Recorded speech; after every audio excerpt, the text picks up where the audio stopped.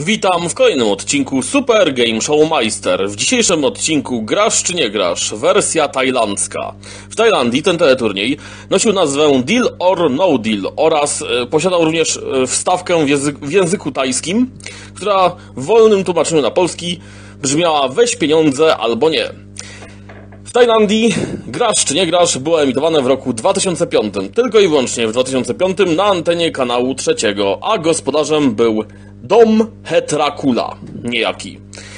Gra była no dość prosta, gdyż wyglądała tak, że przychodził jeden gracz do studia i e, po prostu wybierał jedną z 26 walizek, w których było e, najmniejsza kwota to 25 satangów, a najwyższa to 1 milion batów.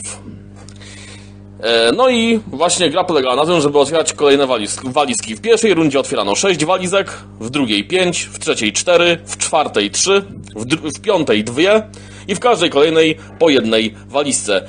W międzyczasie dzwonił bankier i proponował e, kwotę, za którą chciałby odkupić tą walizkę. No a jakie były możliwości wygranych? Jakie były kwoty w walizkach? A no, jak już powiedziałem, najniższa to 25 satangów.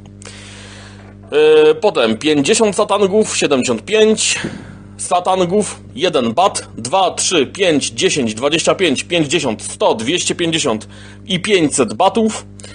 To są te niższe kwoty. Następnie 1000, 2,5, 5000, 10 tysięcy, 20, 30, 50, 100, 200, 300, 400 tysięcy, pół miliona oraz 1 milion batów. To była główna nagroda w tajskiej wersji teleturnieju Grasz czy nie grasz. No chyba, że mieliśmy akurat odc- odcinek specjalny. Wtedy nagrody nieco rosły, yy, gdyż najniższą stawką w e, odcinkach specjalnych było 50 satangów. Potem był 1 bat, potem był e, y, bat i 50 satangów, czyli 1,5 bata.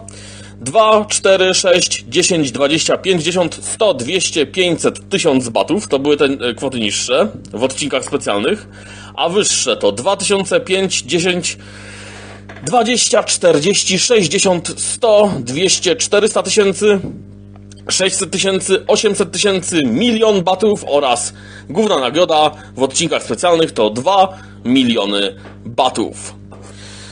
No i generalnie e, teleturniej w Tajlandii jakimś wielkim sukcesem się nie okazał, no co mm, można wywnioskować po tym, że po jednym sezonie został skasowany. No właśnie. I tak wyglądała tajska wersja teleturnieju Grasz czy nie grasz? Mam nadzieję, że odcinek Wam się podobał. Do zobaczenia w kolejnym odcinku, w kolejnym odcinku Super Game Show Meister.